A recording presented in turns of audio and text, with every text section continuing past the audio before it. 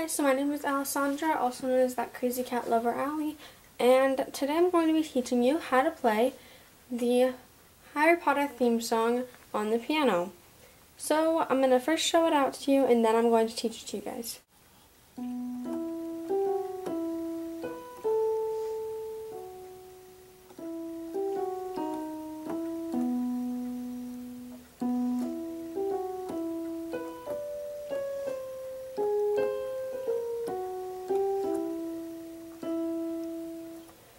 So that's it. It's pretty simple once you get the hang of it. So I'm going to put this into three parts. The first part, the second part, and the third part.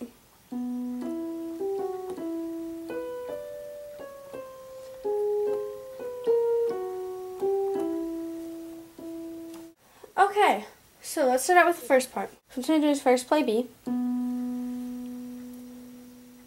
And then you're going to play E.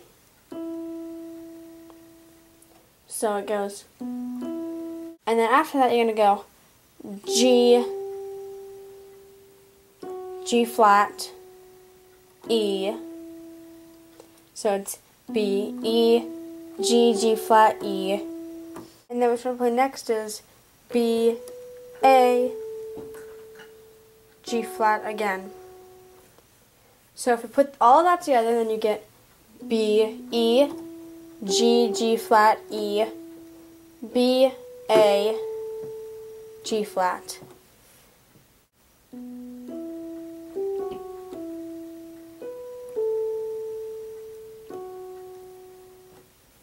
So you can pause the video and practice that a couple times if you'd like, or you can just continue on if you've already got it.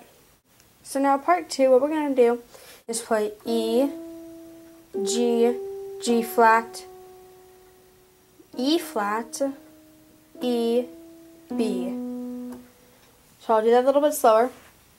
E, G, G flat, E flat, E, B. Now when you put that all together, it's going to play out like this.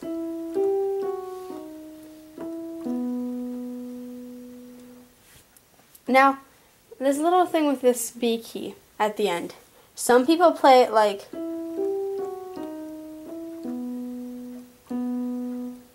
But I think that it sounds better when you play it as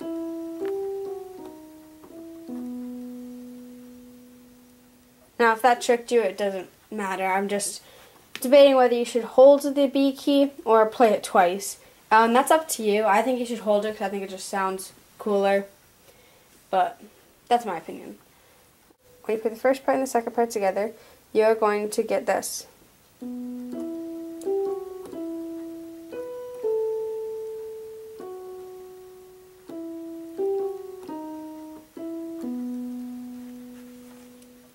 Okay, now this next part is the part that gets really tricky. I'll play it out first.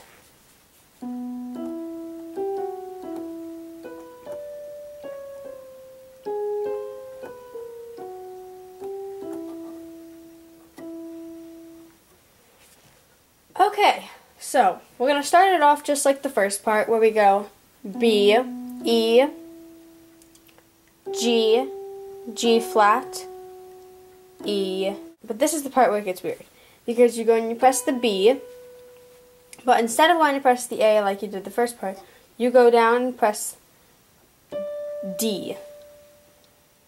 So you go.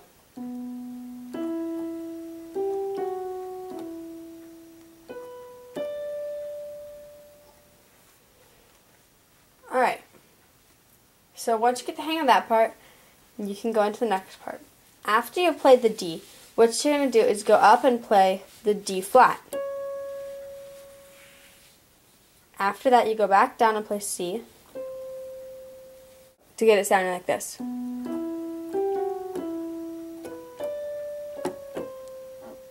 So once again, that's B, E, G, G flat, E, B, D, D flat, C.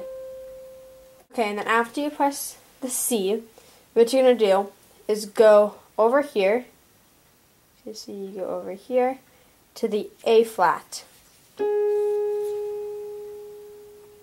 Then you're going to go back to the C. So you get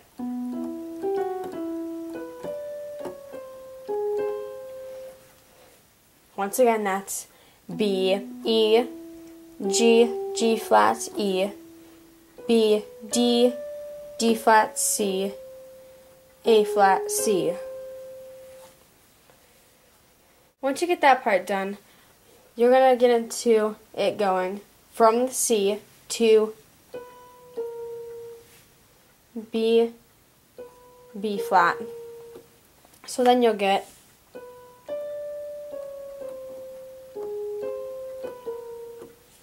which is from the top.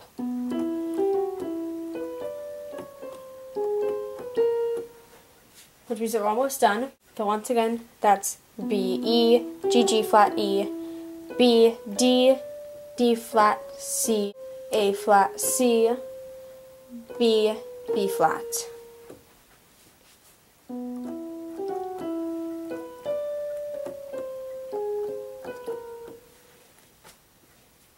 So you can practice that a couple times, or you can continue going if you already got it down. But once you play that B flat, you're going to go down to back to the G flat. G, E, E. So now if you put that entire last part together, you're going to get this. B, E, G, G flat, E, B, D, D flat, C, A flat, C, B, B flat, G flat, G, E, E.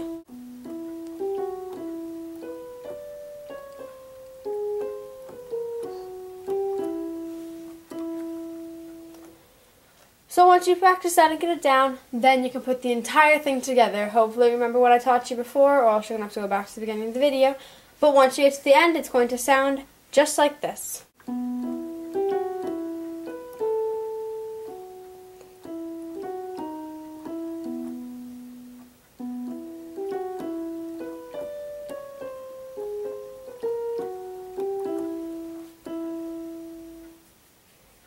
Alright, so that's all I'm going to be teaching you guys today.